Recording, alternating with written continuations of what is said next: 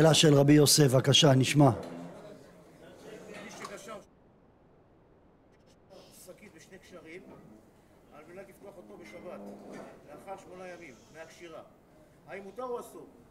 טוב.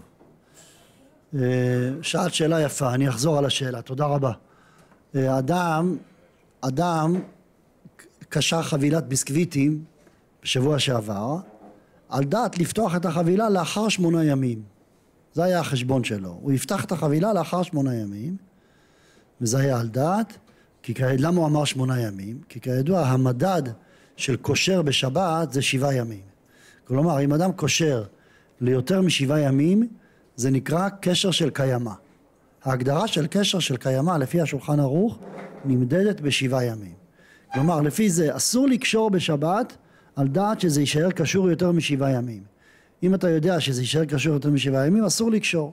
עכשיו הוא אומר, מעשה שהיה כך היה, הוא לא מדבר על הקשירה, קשרו את זה כבר בערב שבת, או לפני שבוע וחצי קשרו את זה, ליותר משבעה ימים. האם מותר לו לפתוח או אסור לפתוח? זו השאלה. האם מותר לפתוח קשר שנק... ש... שקשרו אותו ליותר משבעה ימים? אז התשובה היא, תלוי באיזה מקרה מדובר. אם מדובר בשקית אוכל, מותר. אם מדובר בבלון, אסור. בלון זה לא אוכל. אסור בשום פנים ואופן לפתוח קשר שהוא לא של אוכל, אם הוא קשר של קיימא. אבל באוכל מותר. עכשיו תשאלו מאיפה לקחתי שבאוכל מותר?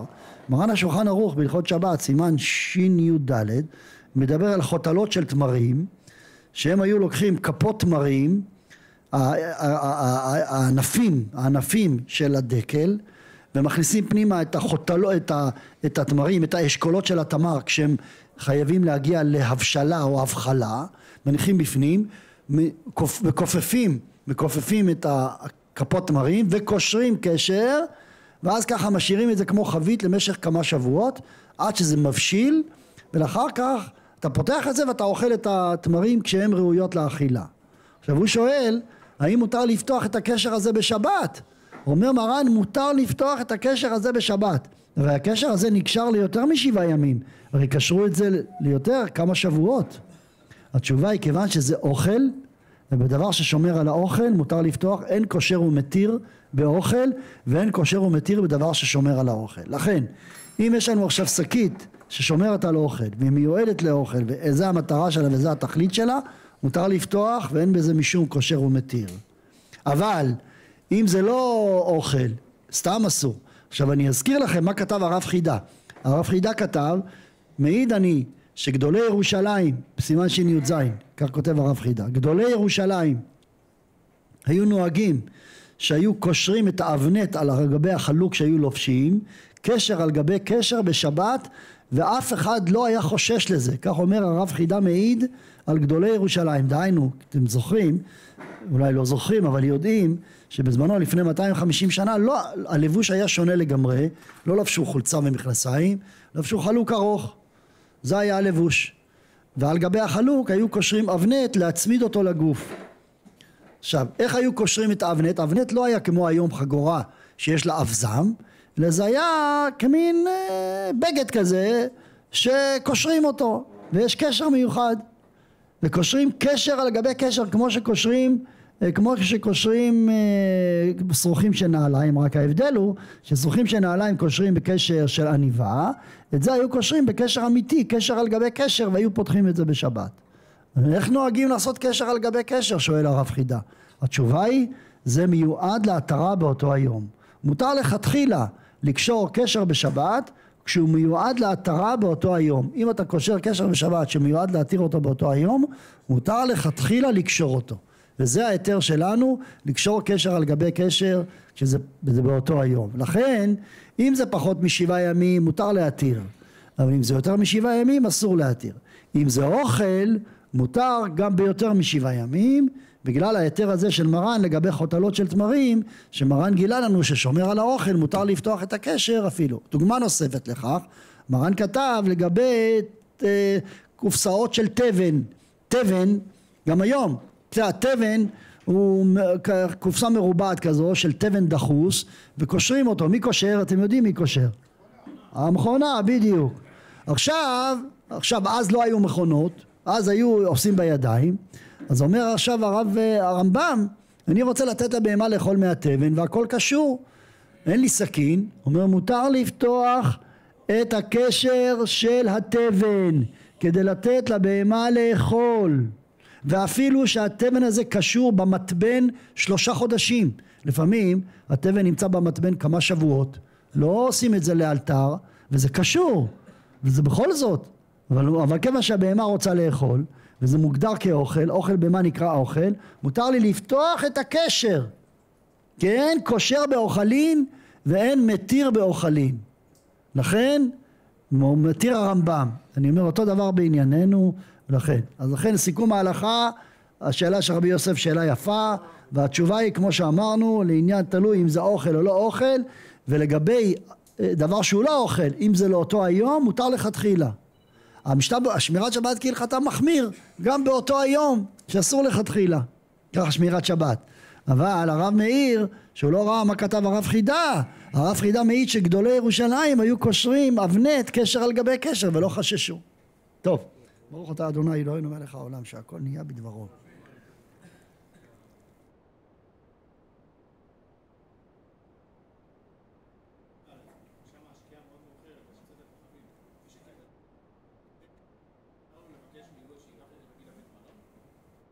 טוב, הוא שאל שאלה שדיברנו עליה לפני חודש אולי, אבל אני אענה לו. הוא שואל, אה, מי שקיבל שבת מבעוד יום, מפלג המנחה, ועדיין לא נכנס השבת, אבל הוא קיבל שבת, והוא אמר מזמור שיר ליום השבת. וברגע שהוא אמר מזמור שיר ליום השבת, הוא קיבל שבת בציבור. ועכשיו הוא, במקרה פה הוא מדבר על זה שהוא רחוק מבית המלון ורוצה שייקח אותו גוי לבית המלון. יכול להיות גם ישראל, ישראל שלא קיבל שבת, זה לא משנה גוי או יהודי. כל מי שלא קיבל שבת הוא נידון כמו ענייננו כמו גוי. הוא לא קיבל שבת, מותר לו. האם מותר לו להוביל אותי למלון ואני כבר קיבלתי שבת בציבור. אז התשובה היא, זה מחלוקת הפוסקים. המשנה ברורה כותב שמותר, ולמה מותר? בגלל שאמירה לגוי היא, היא אמירה היא יותר קלה ממלאכה ואפשר להתיר אותה אפילו ב... אפילו ב...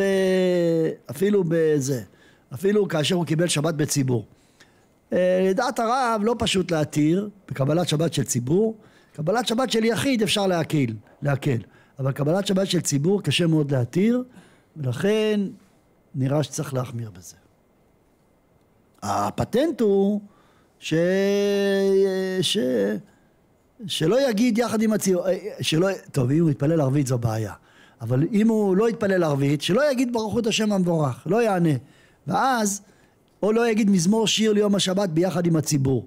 אם הוא לא אומר מזמור שיר ליום השבת ביחד עם הציבור, ולא עונה ברכו את השם המבורך, יש לו דין קבלת שבת של יחיד. קבלת שבת של יחיד יותר קלה. ואז הוא יתפלל ביחיד במלון. כי אם הוא יתפלל זה כבר קבלת שבת גמורה. אבל אם הוא לא יתפלל, רק היה, בא לבית הכנסת ולא ענה ברכות השם. אתה יודע ההלכה היא, אם אני לא התפללתי מנחה ואני מגיע לבית כנסת שאומרים עכשיו ערבית, אסור לי להגיד ברכו את השם המבורך. אם אני אענה ברכו את השם המבורך, אז הפסדתי תפילת מנחה. זה הדין. טוב, בסדר גמור, נמשיך הלאה. אני אמשיך עוד איזה הלכה שקשורה להלכות שבת, היום ש... נדבר עליה, והיא מלאכת כותב ומוחק. ובכן רבותיי, כידוע לכם, אב מלאכה מן התורה יהיה כותב, מוחק על מנת לכתוב. מה זה מוחק על מנת לכתוב? כשאדם מוחק אותיות, מוחק אותיות, צריך להיות תנאי שכדי שזה ייקרא איסור מן התורה, צריך שיהיה מוחק על מנת לכתוב. שבאותו מקום רוצים לכתוב. אבל אם הוא מוחק שלא על מנת לכתוב, אין פה איסור מהתורה אלא איסור מדרבנן. לא אסור מהתורה. אבל יש פה עוד חידוש גדול שמביא מרן השולחן ערוך בסימן של"ט שיש גם מוחק שהוא לא מוחק אותיות והוא חייב מן התורה. איך יכול להיות מוחק שהוא לא מוחק אותיות ולא ספרות ולא ציורים שהוא מוחק מן התורה? כגון מוחק שחרורית. קלף. כך קלף. ויש עליו שחרורית. מה זה שחרורית? פחם נדבק עליו פחם שחור והוא מוחק את השחרורית הרי זה חייב מן התורה במלאכת מוחק למה? אין אותיות כי קלף מה התפקיד שלו? לכתוב עליו הוא מיועד לכתיבה ברגע שאתה מוחק את השחרורית אתה מכשיר אותו לכתיבה אז זה נקרא מוחק על מנת לכתוב. יוצא אם כן, שמוחק על מנת לכתוב ישנם שתי דרכים, או מוחק אותיות, או מוחק שחרורית. גם מוחק שחרורית חייב מן התורה. אה, מה זה בימינו? למשל, למשל, אביא דוגמה, אם יש לך אה, דף נייר כזה, כמו שלי, וזה מיועד לכתוב, והנכדה שלי ישבה וציירה על זה ציור קשקוש כזה, כן? עם העיפרון. ואני רוצה לכתוב, אני לוקח מחק ומוחק את הקשקוש, זה מלאכת מלאכה מן התורה שמסיר שחרורית. אפילו שאין פה שום ציור, כן? זה מיועד לכתיבה, בדיוק. מסיר שחרורית. זה עד כאן. עכשיו באנו לשאלה מעניינת. מה הדין להסיר שחרורית מעל ידיו בשבת? כף החיים דן. אדם שבערב שבת התעסק בגחלים ולא שם לב, הגחלים נדבקו לו ביד, כל הידיים שלו שחורות. בא לבית הכנסת, איזה ידיים יש לך, לא שם לב. בא אחר כך הביתה, אומר אני רוצה להסיר את זה עם נפט, או עם אצטון, או עם, עם אלכוהול, או סבון. האם מותר או אסור להסיר שחרורית מעל ידיו? יש רבנים שאסור, למה שיהיה אסור? אמ, אה, נכון, אבל לפחות מדי רבנן יהיה אסור. כמו שפה חז"ל אסרו למחוק שחרורית, שזה על מנת לכתוב שזה איסור מהתורה, אז לפחות אם אתה מסיר שחרורית, יהיה איסור מדרבנן. כך כתבו כמה פוסקים. אבל הרב עליו השלום כתב שהדבר מותר, ואמר אין איסור להסיר שחרורית בכלל כאשר אין לו כוונה לכתוב. וגם השמירת שבת כהלכתה הביא את זה להלכה. אבל כף החיים מחמיר, תדעו. כף החיים מחמיר. אסור לסלק שחרורית מעל ידו. אה, אבל אה, השמירת שבת כהלכתה גם כתב להתיר, ובלבד שאין לו כוונה לכתוב.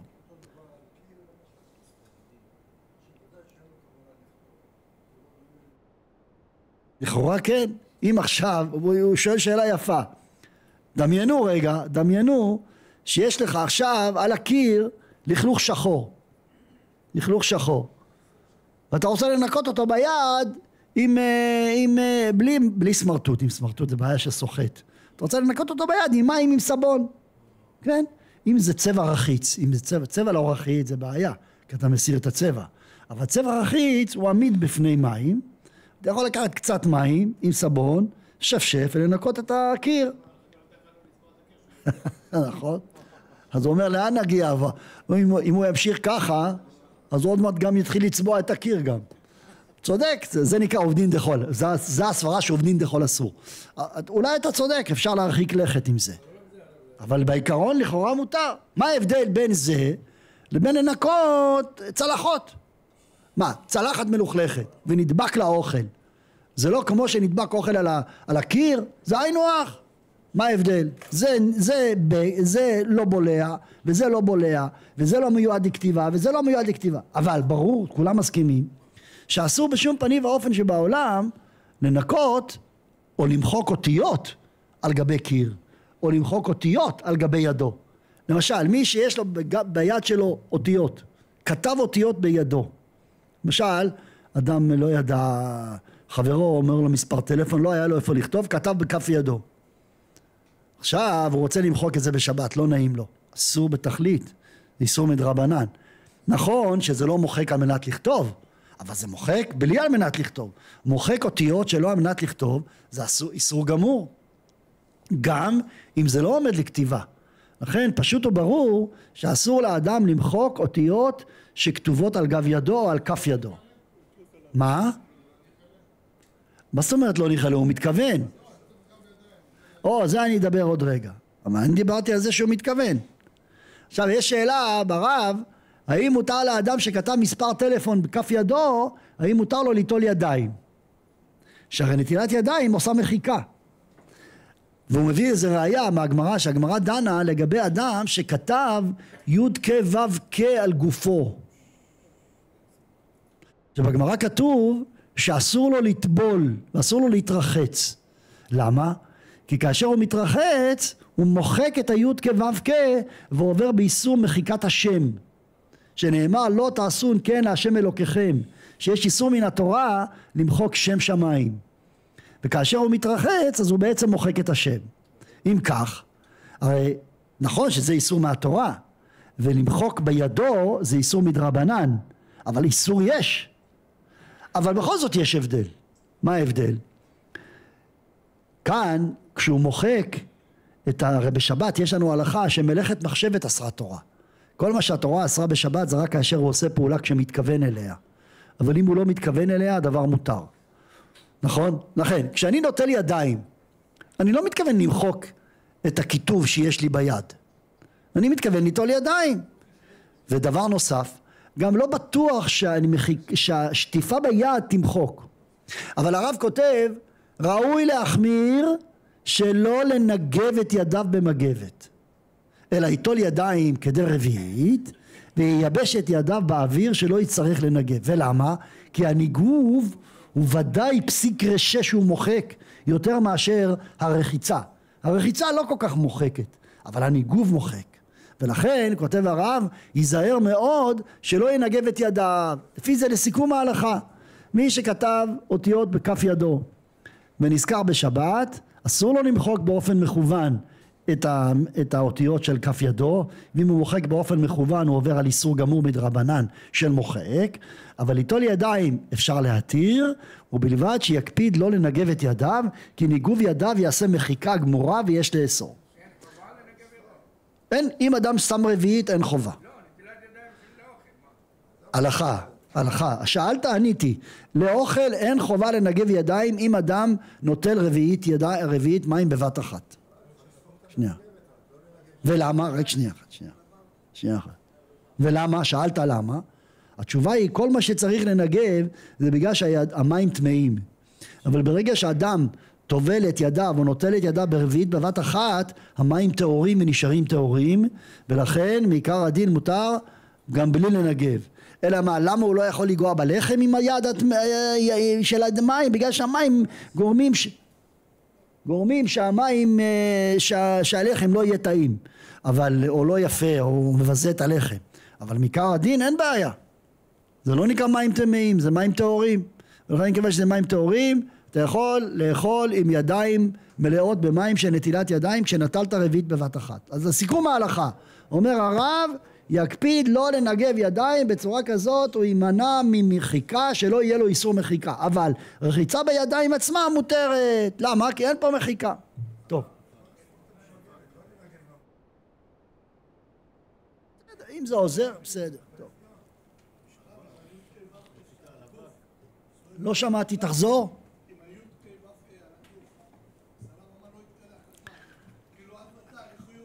אז התשובה היא, קודם כל, קודם כל ככה. קודם כל, התוספות חולקים על הפירוש הזה בגמרא, והם אומרים שכל האיסור שלא להתרחץ, זה לא בגלל שהמים, שהמים מעבירים לו את המחיקה, אלא בגלל שהוא יהיה ערום והוא מבזה שם שמיים כשהוא ערום. זה הטעם, טעם אחר. אז רואים בתוספות שהוא לא חשש למחיקה על ידי המים. אבל גם לפי התוספות אסור לנגב, מותר לו להתרחץ במים אבל בלי לנגב. כי הניגוב מעביר את האותיות. מבין את החילוק? בכל זאת זה הפסק ההלכה שלנו. אז אני חוזר על ההלכה, אסור לאדם בשום פנים ואופן למחוק אה, מספר טלפון שיש עליו. עכשיו יש לנו שאלה מאוד מעניינת, מאוד מאוד מעניינת ש, שדנים עליה פוסקי דורנו. פוסקי דורנו, הכוונה הרבנים, יש אז פולמוס, כל יום יוצא ספר חדש על זה. אישה שרוצה להתקשט, היום זה נכנס חזק מאוד לאופנה, הציפורניים, מחלת הציפורניים, כל אישה יש לה פשט כאלה, כל שזה יותר ארוך יותר יפה כאילו, בפסוק כתוב ועשתה את ציפורניה, שזה ניבול, אבל, חס וחלילה אבל, שלושים יום אסור לו לגזור ציפורניים, למה? כי זה ניבול, היום המודרנים החליטו שזה לא ניבול, טוב, ראש עקום. בקיצור, אז היא שואלת ככה, היא שואלת שיש לה, שהיא שמה לק, והלק הזה, האם הוא מהווה חציצה או לא מהווה חציצה, אז כבר דיברנו ואמרנו שכל זמן שהלק הוא שלם, הוא לא מהווה חציצה ומותר לטבול ומותר ליטול ידיים איתו. אה, זה גוף זר, או למשל אישה ששמה ציפורניים מלאכותיות. יש כאלה ששמים חתיכת פלסטיק, כאילו ציפורן, זה לא ציפורן, זה פלסטיק. אז הפלסטיק הזה הוא גוף זר.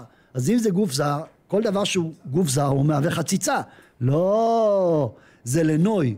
כל דבר שהוא לנוי לא מהווה חציצה. זה הלכה. כל דבר שהוא לנוי לא מהווה חציצה. אבל זה תלוי מאוד מה המצב של הנוי הזה. נוי בהתחלה כשהלכה לפדיקור, לאישה שעושה לה את הקוסמטיקה, זה יפה. אבל אחרי שבועיים שלושה, מכוער. מתחיל להתבקע, מתחיל להישרט, הציפורן גדלה ונוצר נקב, תמיד תמיד בלישון, שפה נוצ... כשהציפורן גדלה אז גם הפלסטיק גודל ואז נוצר נקב, הפרש בין הבשר לבין הציפורן ואז זה לא יפה. אני שואל אותה הגברת הזו, תגברת את עכשיו יש לך חתונה, את תלכי לחתונה ככה? לא, אני לא אלך לחתונה. למה? זה מכוער. אז אם זה מכוער את מקפידה על זה, זה לא יפה בעינייך. אז אם זה לא יפה בעינייך, איך את יכולה לטבול? זה מהווה חציצה. זה הטענה. אז לכן, אז מה אומרות הנשים? אני מקפידה לילה לפני הטבילה, אני הולכת לפדיקור והיא מסדרת לי את הציפורניים. בטבילה אני, אה, הכל יפה ושלם. טוב, בסדר.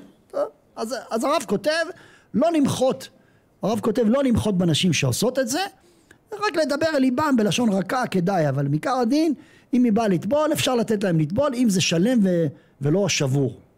מעשה שהיה כך היה, שהאישה הזאת באה, יש לה טבילה בליל שבת, ושכחה לסדר את הציפורן, ויש לה על הציפורן לקה שבורה. לקה שבורה זה מהווה חציצה. טוב, עכשיו היא יודעת שכדי לטבול, היא לא יכולה לטבול בליל שבת. יש לה לקה שבורה, היא צריכה להסיר את הלקה. האם מותר לה להסיר את הלקה בשבת באצטון או לא? דהיינו, אם, ציפור, אם צמר גפן אסור, כי צמר גפן זה איסור סוחט. אבל נגיד, תיקח יש אצטון עם טיפות כזה, טיפות, תיקח, תטפטף שתי טיפות על הציפורן, ותיקח איזה סמרטוט, תעביר, והכל יעבור. דומה לשאלה, אדם שנדבק לו זפת בכף הרגל בים, הלך, דרך על משהו, חוזר הביתה, רואה פש, כל הרגל שלו דבק, מסתכל, רואה זפת. האם מותר לו להסיר את הזפת הזה בשבת או לא? יש רב אחד אמר, זה איסור ממחק. מה זה ממחק? ומחק זה מחליק בדיוק. אם למשל, אם למשל אה, אתם ראיתם בן אדם שעושה עבודת אה, שפכטל בקירות, כן? אז הוא, אה, יש הרבה חורים, אז הוא מורח את השפכטל, את החומר של השפכטל עם המרית, עם הכלי הזה הישר, ואז עדיין נוצרות בליטות. אז כדי ליישר הוא לוקח נייר זכוכית, והנייר זכוכית משייף כדי שהקיר יהיה ישר. יש פה שתי פעולות. פעולה ראשונה, לסתום את החורים עם השפכטל. המריחה הזו של החורים בשפכטל זה איסור דאורייתא של ממחק, הוא ממלא את החורים. הפעולה השנייה, לשייף עם נייר זכוכית, הוא גם כן תולדה של ממחק, הוא מיישר. זה גם מילוי החורים וגם השיוף, שתיהן אותה פעולה של ממחק. למה? אתה מגיע לתוצאה אחת, מהי התוצאה? יישור של השטח. או בצורה שאתה ממלא חורים, או בצורה שאתה מסלק את הגבעות. או גבעות או חורים, היינו הך, אבל זה אותו יסוד. או לסתום על ידי שאתה ממלא, או לסתום שאתה משייף. הבנתם? למשל עץ, אם יש לך עץ שיש בו קצת חורים, אתה יכול להביא משייף, להעביר אותו משייף, להוריד מילימטר מהעץ, וקיבלת עץ חלק. אז קיבלת עכשיו חלק. או במקום זה אתה יכול לעשות פעולה הפוכה. קח שפכטל, תמלא את כל החורים, ואז גם קיבלת עץ חלק, אבל יותר גבוה. פה זה שתיהן פעול, כי לכאורה פעולות הפוכות, אבל שתיהן תכלית אחת, ליישר את השטח. אז זה נקרא ממחק. איפה ראינו פעולת ממחק בתורה, ב- ב- במשכן? אתם יודעים איפה? לא בקלף, באורות, יפה מאוד. האורות ששמו על המשכן למעלה. האורות לקחו איל, אלים מאוד דמים. האיל הזה היה בצבע אדום, והאור שלו בצבע אדמדם הוא יפה מאוד. אבל האור שלו מלא מלא מלא מלא שיער.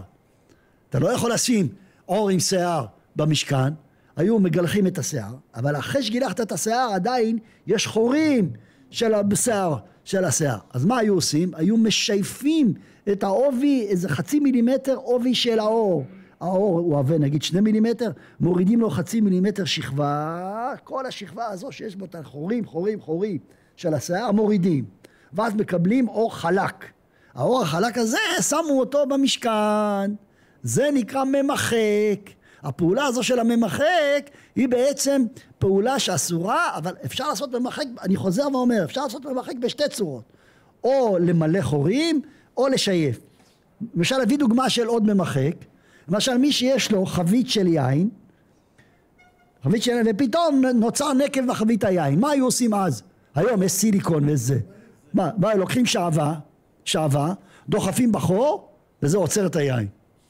שעווה זה חומר גמיש, אבל הוא קשה קצת. ואתה אוטם אותו, דוחף אותו בחוזקה, ואתה עוצר את הנקב. עכשיו, מי שלוקח שעווה ומכניס בתוך הנקב של החבית, עובר באיסור ממחק. סתמת חור, יישרת את, ה, את, ה, את החבית. עכשיו, כמו הפעולה הזו, אפשר לעשות גם פעולה הפוכה, שיוף. אבל שתיהן פעולות הפוכות מנוגדות אחת לשנייה, אבל שתיהן יש להן תכלית אחת, ליישר את ההדורים. דרך אגב, מזה למדנו שיש איסור למרוח משכות בשבת.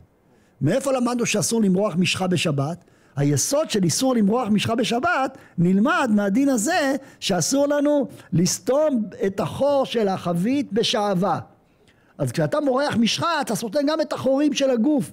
כשאתה לוקח פסטה בייבי של התינוקות, של התינוקות, בגלל הילד של התינוק יש לו אה, תפרחת טיטולים. התפרחת של הטיטולים הזו היא אדמומית מאוד מאוד הילד סובל. כן? אז מה, איך מטפלים בה? שמים את הפסטה בייבי. הפסטה בייבי זה משחה, היא מאוד מאוד יעילה, אבל יש לה שתי, שתי סיבות למשחה הזו. הפעולה הראשונה היא שהעור סופג את הוויטמין D שיש בתוך הפסטה בייבי ומזין את העור בחומר שדוחה את כל החומציות שיש בהפרשות של הילד. אבל יש עוד פעולה. מה עושה? הפסטה בייבי זה כזו משחה שומנית קשה שאתה מצפה את העור של הילד ואז כשהוא עושה בטיטול החומר של ההפרשה לא פוגע בעור. למה לא פוגע בעור? כי יש ציפוי על העור שמגן עליו. פשוט זה דוחה את כל החומציות. השומן דוחה חומציות, אתם יודעים, שומן וחומציות זה תרתי דה סתרי, אחד נוגד את השני, חומציות אוכל שומן, שומן דוחה חומציות, כלל, כלל, כלל בכימיה.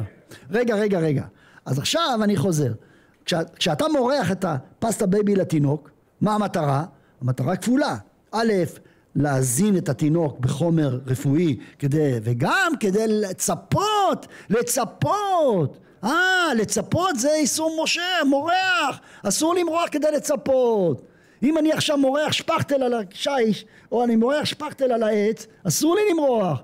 כי אני מצפה, גם פה אני מצפה, לכן הדבר אסור במיסור מדרבנן של ממרח, כמובן בצורך קטן אפשר להתיר, אז תמיד אנחנו אומרים שמותר לעשות את זה אם עושים את זה בנקודות, עושים את זה בנקודות, ואז שמים את החיתול והחיתול יסתדר מאליו. הוא שואל למרוח משחת שיניים על השיניים. הנה דוגמה להסביר למה מותר למרוח משחת שיניים, אני אסביר. יש מישהו בעולם שחושב שאני רוצה למרוח את המשחת שיניים על השיניים כדי שהמשחת שיניים תצפה לי את השיניים? יש מישהו שחושב ככה? מישהו שחושב שאני משאיר את המשחת, אם אני אשאיר את המשחת שיניים, איך אני אוכל אחר כך שוקולד? יחד עם המשחת שיניים? יתערבב לי? או איך אני אוכל גלידה? איך אני אוכל אחר כך אה, מעדן? איך אני אוכל גבינה? יחד עם המשחת שיניים? אתה מורח ומסלק את זה מיד, מיד, מיד, מיד, מיד. אתה רוצה. כל המטרה של המריחה היא לזמן קצר, כדי שזה יתערבב לך עם הפלק של, שזה מצטבר על השן, וזה על ידי השטיפה יצא החוצה. אבל אין לך עניין להשאיר. אבל לעומת זאת, ממרח זה בדיוק להפך. כשאתה ממרח אתה רוצה להשאיר. כשאתה, יש לך נקב בחבית, יש לך נקב בחבית, והנקב מטפטף שמן זית. או יין, ואתה לוקח עכשיו את השעווה שדיברו חז"ל ואתה שם בתוך הנקב, אתה רוצה שהשעווה תישאר שם, כדי למנוע את הדליפה של השמן. זה נקרא ממרח, זה נקרא ממחק, אבל לא במקרה שלנו. לכן מותר, לכן מעיקר הדין מותר למרוח משחת שיניים. לא רואה בזה שום בעיה, לא רואה, אף אחד בעולם לא חושב שהמשחת צריכה להישאר בשיניים. זה מוזר, זה, זה... טוב, כן, בבקשה, רגע, רגע, הרבה זמן הוא מחכה, נשמע אותך, בבקשה. כן.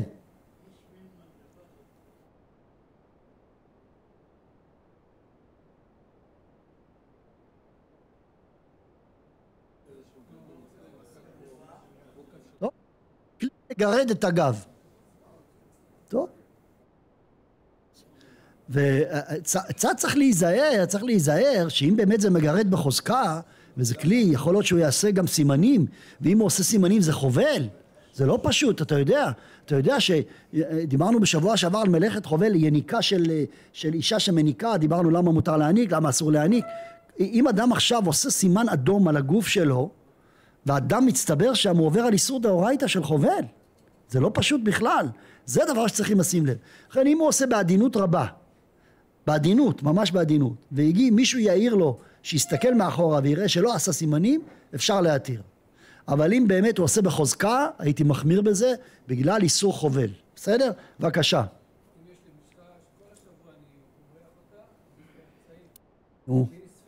נספגת, כן. התשובה היא, התשובה היא, אז התשובה היא ככה. המגן אברהם באמת אומר את הסברה שלנו, שאמרתי עכשיו. המגן אברהם בא ואומר, אם כך, לפי זה, לפי זה, אין שום איסור בעולם למרוח משחה רפואית. למה? כי משחה רפואית, חוץ מהמשחה פסטה בייבה הזו, חוץ ממנה, המטרה שלה היא שהיא תספג, לא שתישאר בחוץ. אף אחד, שום רופא בעולם לא יגיד לך שטוב לו שהמשחה נשארת בחוץ. זה בדיוק להפך. המטרה היא למשחה שהיא תספג, וכאשר היא נספגת, היא נכנסת ומזינה את האור בכל מיני תרופות, וזה עוזר לך להתמודד עם החולי של האור. אבל אם זה יישאר בחוץ, החולי של האור יישאר. אם כך, אין פה עניין של ממרח, כי כל ממרח פירושו סותם את הנקבוביות. האמת שהאור שלנו מלא מלא נקבים. אם אדם ייקח מיקרוסקופ, יסתכל על האור, הוא יראה ממש ממש ממש כמו הירח, מלא מלא עיגולים עיגולים עיגולים עיגולים מכתשים, מכתשים קוראים לזה. כמו מכתש גדול, כמו שיש, ראיתם ירח, צילום של ירח, שטח של ירח, יש בו מכתשים כאלה עגולים, ככה נראה האור, יש בו המון המון מכתשים, בדיוק. עכשיו המכתשים האלה, יש להם פעולה סופגת ופולטת, מכניס ומוציא, מכניס ומוציא, כל הזמן. הוא מכניס חמצן ומוציא זיעה וכן על זה יש תחלופה, האור כל הזמן עושה תחלופה. עכשיו כשאתה מורח עליו משחה, אוי ואבוי אם המשחה הזאת תסתום את הנקבוביות, כי אם היא תסתום את הנקבוביות זה, זה הורס את המערכת של החילוף חומרים, כל המטאבוליזם של הגוף. פעם עשו אה, מחקר, אה, לקחו אה, בעל חיים והכניסו אותו בתוך אמבטיית כספית. כספית, כספית זה, זה מתכת נוזלית, אתם יודעים. כספית זה מתכת נוזלית. זה באוניברסיטה, לפני שהיה בג"ץ שצער בעלי חיים וכל זה. היום היו אוסרים להם על זה, זה הם אכפת להם רק מצער בעלי חיים. טוב, בקיצור, אז, אה, אז לקחו בעל חיים, הכניסו אותו לאמבטיית כספית והוציאו אותו. עכשיו, הכספית, יש לה תכונה שהיא עוטפת משהו בנוזל, עוטמת אותו, עוטמת. זה, זה, זה, זה מתכת נזילה, אבל היא, היא מאוד מאוד חזקה. אחרי כמה דקות, הבעל חיים הזה התפגר. התפגר. שם אבל. אבל לא היה לו נשימה דרך האור, כי זה סתם לו את האור. זה בדוק, בדוק. היום לא אסור לעשות את הבדיקה הזו, אבל זה מה שקרה בכספית, כספית אוטמת לגמרי. הווה אומר שאוי ואבוי לאדם שיסתום את היניקה של האוויר דרך האור. ולכן כשאדם מורח משחה, כל המטרה של המשחה שהיא תספג, והיא תמיד תספגת. זה המטרה, כי הגוף סופג משחה. כספית, הוא לא יכול לספוג כי זה מתכתי, והגוף לא סופג את המתכתי, אז לכן הוא נאטם. זה מה שקרה. טוב, בקיצור, אני רוצה לחזור. אומר המגן אברהם, לפי זה, אם אדם מורח משחה רפואית, שכל מטרתו במשחה שזה ייספג ויחדור פנימה ולא יישאר בחוץ, אין פה איסור ממרח. הדבר דומה בעיניי, בואו נחזור למקרה של הגמרא. המקרה של הגמרא, שיש לנו חור בחבית. מה אומרת הגמרא? אסור לקחת שעווה ולהכניס פנימה לתוך החור ולסתום את החבית. עכשיו מה הדין אם אני מכניס פנימה לתוך החור ואני מכניס פנימה והחו... והשעווה יוצאת מהצד הזה ונכנסת בצד הזה ויוצאת מהצד השני? מותר, לא עשיתי כלום. הכנסתי מצד אחד, יצא מהצד השני. אין פה דין, אין פה דין של אה, ממרח, למה? לא סתמתי את החור. אז אומר, אומר המגן אברהם, גם במשחה רגילה לא סתמתי חור. כי זה נכנס ויוצא ונכנס ונספג באור. אז איפה יש לנו פה ממרח? בא... מה? כן, אבל הריפוי הוא על ידי זה שזה נספג, זה לא נשאר. תבדוק בעצמך, למה אתה שואל אותי שאלות? תבדוק בעצמך. קח משחה, תמרח אותה בגוף. אה, אז לרפא, בסדר. עכשיו שאלת אם מותר לרפות, אז התשובה היא ככה. לגבי ריפוי, מקום שיש צער גדול מותר, מקום שהוא חולה כל גופו מותר, מקום שהוא מתחיל בערב שבת מותר. יש לנו שלוש דוגמאות שמותר בריפוי. תזכור אותן, תזכור את השלוש, זכרת? צער גדול, צער גדול. למשל אדם שיש לו זובירקס, יש לו הרפס בפה, ראית? הפצעים של ההרפס בפה, מכיר את זה? זה נורא ואיום. סתם ככה אני מציע לכם מעל גיל 60 לעשות את החיסון נגד הרפס. מאוד מומלץ, אני ממליץ לכם, אני עשיתי.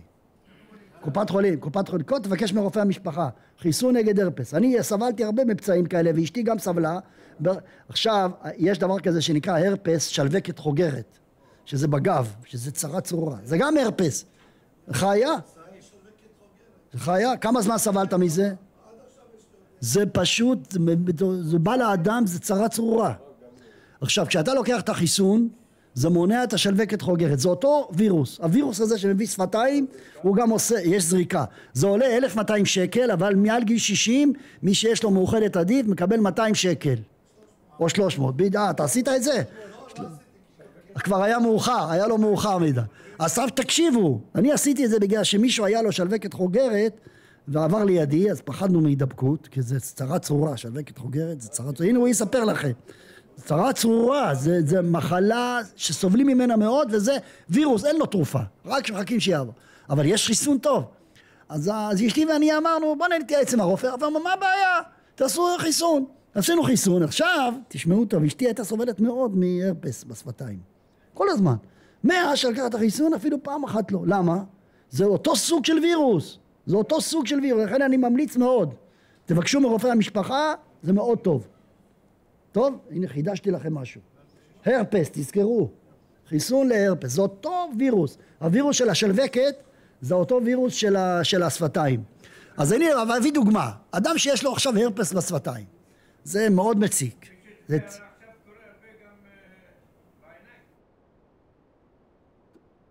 העיניים, גם אמרו לך הרפס? השתמשו במילה הזו? טוב. טוב, ובכן רבותיי, נחזור לעניין הראשון, תקשיבו נו. האדם הזה, יש לו הרפס בשפתיים, זה הצעה, זה, זה, אם לא מטפלים, יש משחה מצוינת שקוראים לה זובירקס, אתם מכירים אותה. קטנה, קטנה, קטנה, חמישה, שני גרם יש בזה, אבל טיפה אחת של זה מטפלת טיפול מצוין. זובירקס זה משחה מצוינת, כל אחד שיהיה לו את זה בבית. זה מציל, מציל. או, שבת מותר, הוא שואל למה מותר? כי זה צער גדול. אם אדם לא ישים את המשחת של הזובירקס על ההרפס באותו רגע שבוע שלם הוא יסבול. שבוע וחצי. אז מה? אז לא הבנתי מה השאלה. לאן, לאן אתה חותר? פצעים בתוך הפה זה משהו אחר. זה, זה משהו אחר, זה סוג אחר ונותנים לזה משחה אחרת, אור קורות קוראים לזה, אור הקורט, זה משהו אחר זה פצעים בפה, זה לא הרפס. פצעים בפה זה לא הרפס, זה זה מאוד מאוד מועיל לחלב של העזים. אבל הרפואה היא נגד זה, אתה יודע למה הרפואה נגד זה? לא, לא, לא, לא בגלל זה. הרפואה טוענת, הרפואה טוענת שזה באמת עוזר, כולם יודעים שזה עוזר, אבל יש סיכון גדול מאוד בלקחת חלב של עזים לפה של הילד, כי הוא יכול לקבל מחלות זיהומיות קשות מאוד, וכבר היו דברים מעולם. גם הנכד שלי הלך. יש אה, בקבר שמואל הנביא, יש כמה ערבים שיש להם שם בתים. והם תמיד, כל שכונת רמות הולכים אליהם, לוקחים את הילד, שמים אותו מתחת לעז, ממש מטפטפים מהפה של העז וזה מבריא. אבל הרפואה היא מאוד נגד זה בגלל שהיא טוענת שלקחת חלב מעז בלי פסטור יש סכנה גדולה מאוד של זיהום. טוב, אני לא נכנס לזה, שלא תגידו שאני אמרתי. אבל זה לא עוזר, זה לא עוזר אם תיקח את החלב של העז ותרתיח אותו ותשים אותו, זה לא עוזר, עוזר רק ישירות מהעטינים של העז, ישירות, כן, ממש ככה, ויש בעיית, בעיה זיהומית במיוחד אצל הערבים וזה, זה אי אפשר לדעת. טוב, בקיצור זה המצב, אבל זה סוג אחר של פצעים, לא על זה דיברתי. אני מדבר על הרפס, אז מותר לקחת, למה? כי זה צער גדול, אז אני חוזר. יש לנו שלושה תנאים שמותר לקחת תרופות בשבת. התנאי הראשון צער גדול. סתם במאמר המוסגר, הרב שואל, איך מודדים מה זה צער גדול? איך? יש לך מדד? יש לך מכשיר מדידה? אתה יכול להדביק לו על הגוף? אה, לזה צער גדול, לזה אין צער גדול. אז אומר הרב, האמת היא שאין לנו מכשיר מדידה, וזה לפי הבחיות של האדם, הפציינט. יש אדם, יכול להיות שני אנשים שיש להם אותו כאב, זה עומד וצווח, וזה יושב בשקט וסובל.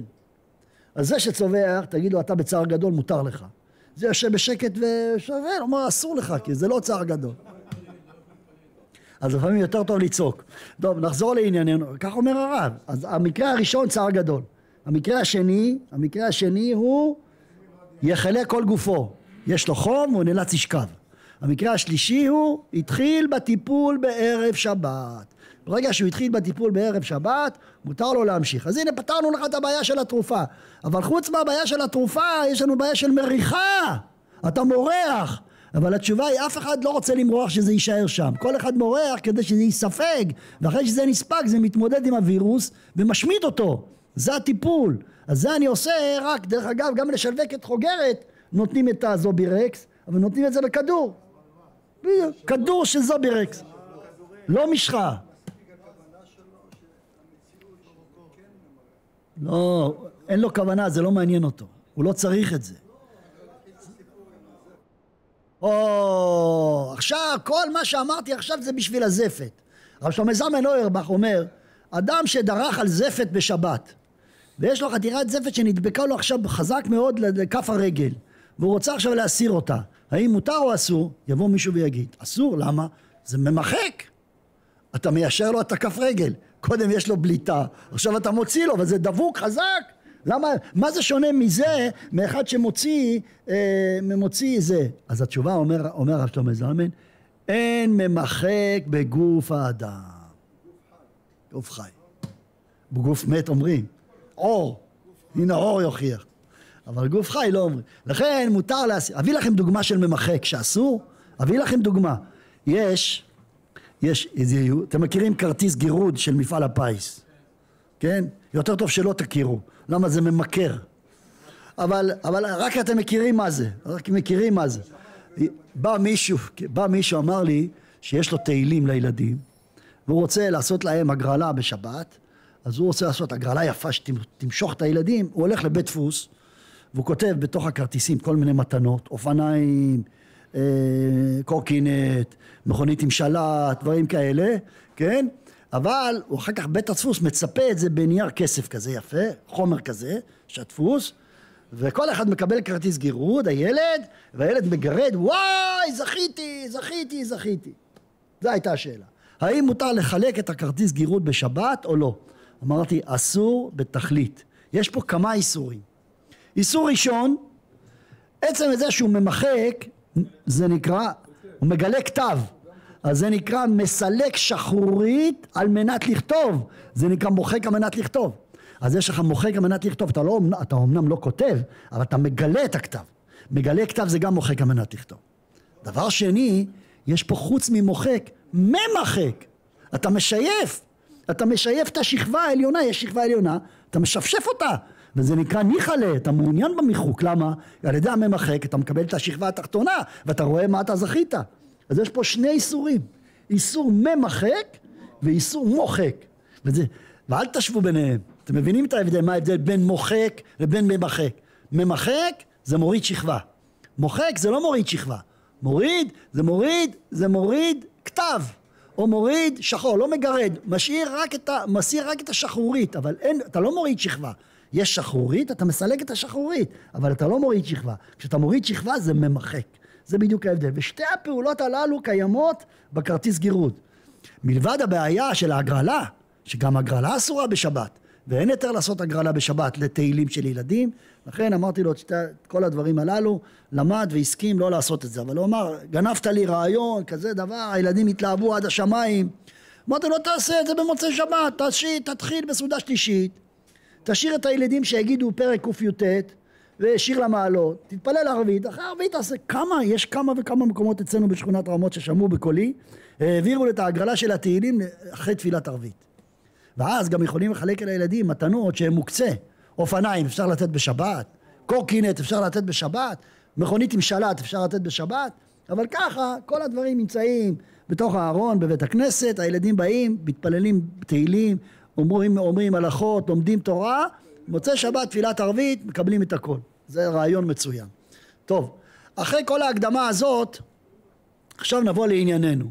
למדנו שיש איסור מוחק על מנת לכתוב, כי אם אדם מסלק שחרורית. יותר מזה, יש לנו גם מוחק על מנת לכתוב אם אתה מסלק, אה, מוחק כרטיס גירוד. אם אתה מסלק כרטיס גירוד, זה גם נקרא מוחק על מנת לכתוב. זה גם נקרא מוחק על מנת לכתוב, כי אתה רוצה לראות מה שכתוב למטה.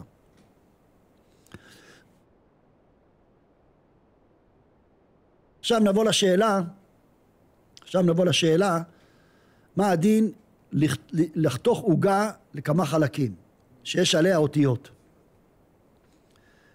אדם קנה יום הולדת לבן שלו, קנה לו עוגת קרם יפה, וכתב עליה מזל טוב.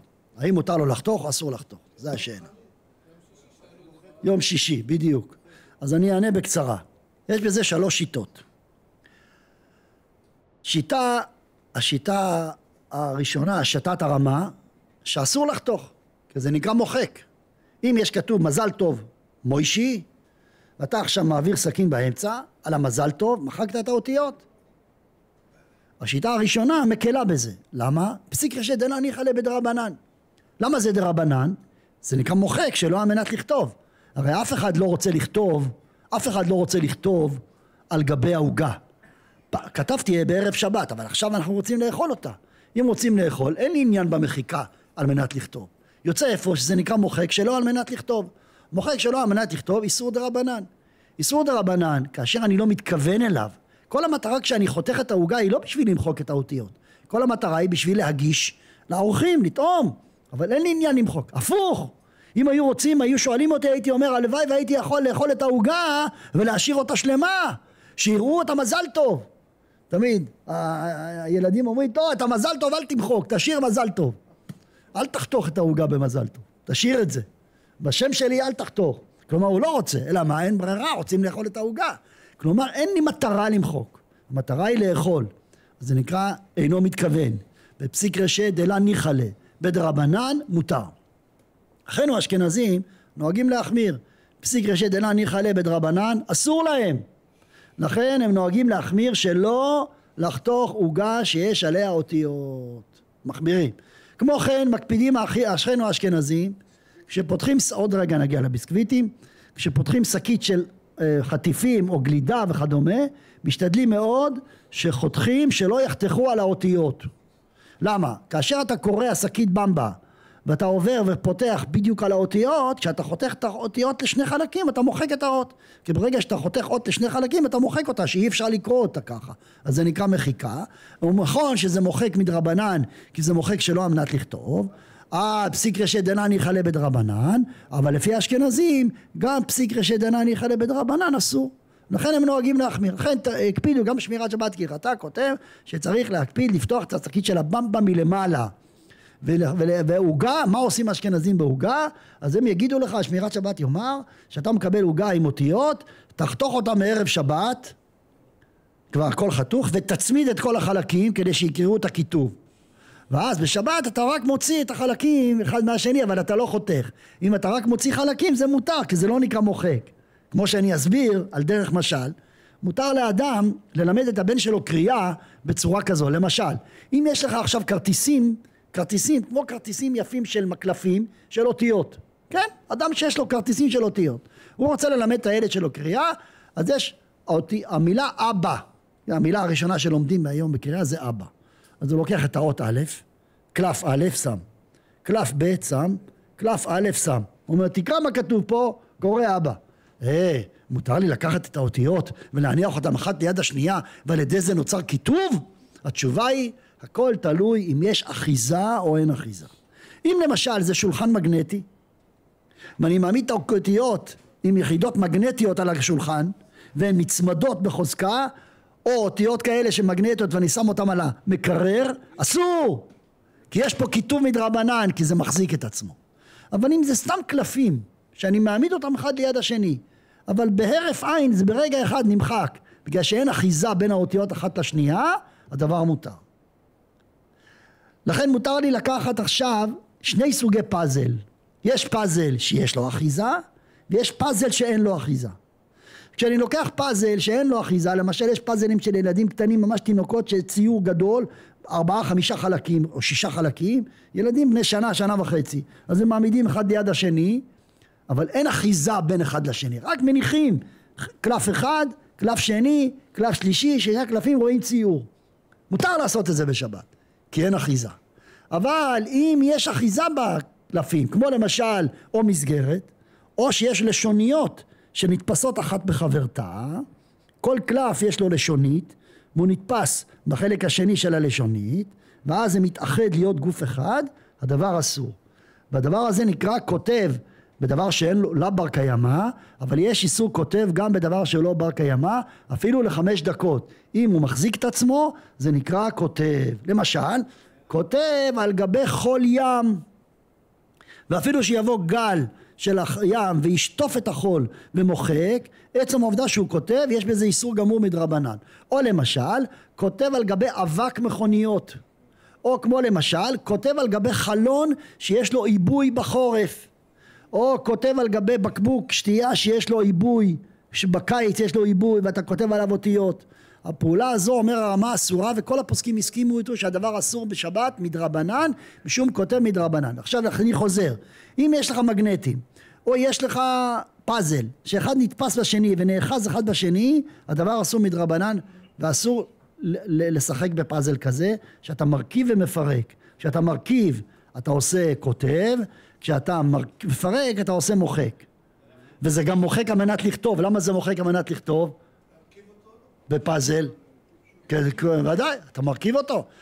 אז, אז נכון אבל שזה רק דה רבנן, כי זה לא בר קיימא, אני מסכים. אבל לא, גם ציור זה כותב. צריך לדעת, אם אדם מצייר ציור, אם אדם מצייר ציור שרואים ציור זה איסור כותב מהתורה. לא דווקא אותיות. בסדר? אם אדם מצייר אונייה, מטוס, מכונית, בן אדם, משהו, עובר על איסור כותב מן התורה. לפי זה הדבר אסור. אבל אם יש לך אותיות כאלה שלא מחזיקות את עצמן, מותר לך. עכשיו נחזור להיתר של השמירת שבת. אומר השמירת שבת. אנחנו האשכנזים מחמירים בפסיקרא שדלניחא ל... אז אסור לנו לחתוך את העוגה שיש עליה כיתוב מזל טוב. אז מה יעשה? בערב שבת תחתוך את המנות אחת ליד השנייה במנות מסודרות ותפריד ואחרי זה תחזור ותדביק ולמה מותר בשבת להפריד? הרי באותה שעה כשאני רואה את כל העוגה אני רואה אותו אותיות. ואם אני מפריד את החתיכות אני לא רואה, אתה מפרק את האותיות. לא, אבל זה בדיוק כמו הפאזל שאין לו אחיזה. פאזל שאין לו אחיזה אין לא נקרא מוחק. אבל ברגע שהעוגה שלמה אז יש אחיזה. ברגע שאתה חותך את האחיזה זה נקרא מוחק. לכן לחתוך עוגה שלמה כל זה לדעת האשכנזים.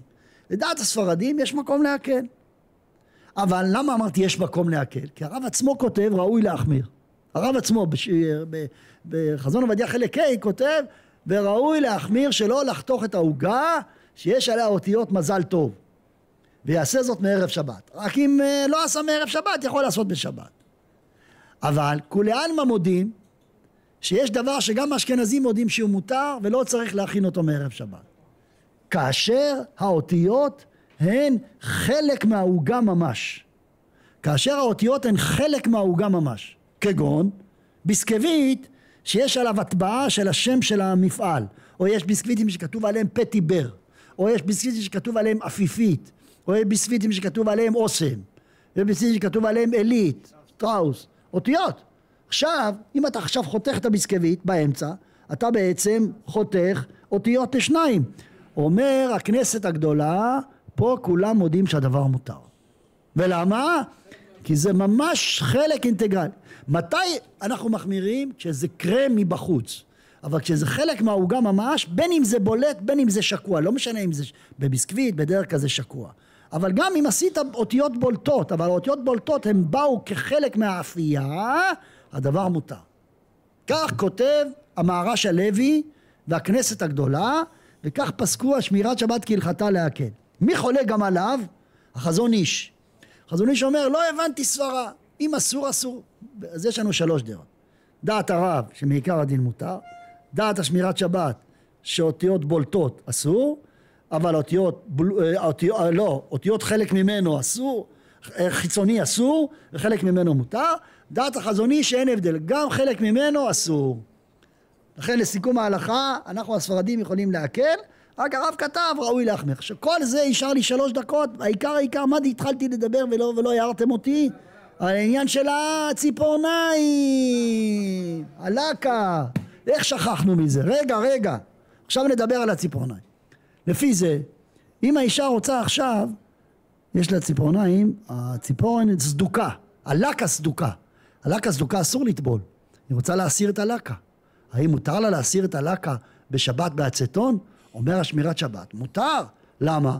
זה כמו שחרורית שעל גבי ידו. יש לי עכשיו, אם אין לי מספרים, יש לי רק שחרורית על גבי ידו. לכלוך. מותר לי להסיר את הלכלוך, מותר להסיר. מה תטענו? שאולי זה נקרא ממחק, שאני מסיר את הקליפה החיצונה. רגע, רגע, רגע, רגע, שנייה, למה אתם מתפרצים? מה תטענו? שאולי זה נקרא ממחק, שאני מסיר את השכבה. ממחק. אבל כבר אמרנו, שלמה זלמן אוירבך אמר שמותר להסיר אה, זפת שנדבק לי בכף הרגל. אין ממחק בגוף האדם. לפי זה ממחק אין, מוחק גם אין, כי זה לא מיועד לכתיבה. זה לא מיועד לכתיבה. בא איזה חכם אחד, אומר לי, אדוני, אתה לא מעודכן, אתה לא בעניינים. היום עושים ציורים על הציפורניים. פרחים, לא, חוץ מבנייה, בנייה תעזוב. ציפורניים עושים ציורים. ציורים. אז אישה שעושה ציורים, אז זה נקרא, מהדרין בדיוק, אז זה נקרא עומד לכתיבה. אז זה כמו קלף. מה מרן אמר בקלף? יש עליו שחורית? אסור למחוק אותו וזה איסור תורה. אז אותה אישה שעושה ציורים, עכשיו נסדק לה, אסור למחוק את זה. רגע, רגע, למה אסור למחוק? כי זה מוחק אמנת לכתוב, היא נוהגת לעשות ציורים. כל מה שהתירה שמירת שבת כהלכתה לפני חמישים שנה, הוא דיבר בצבע בלבד. למה? הוא לא דיבר. היום זה מתוכנה, היום זה משהו הרבה יותר מתוחכם. לפי זה יש לאסור יותר. כן.